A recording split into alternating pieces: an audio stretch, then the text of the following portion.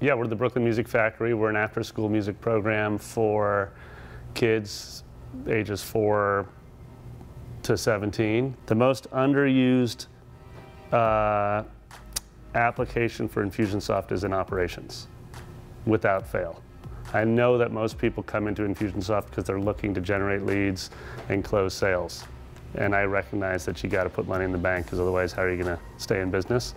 But once you get past that point, once you get two, three campaigns working for you and you're getting however many leads you need in the door, start asking yourself as a business owner, what can this tool do to me for my business that will help automate a whole bunch of the operations? I would just, I'm leaving it there.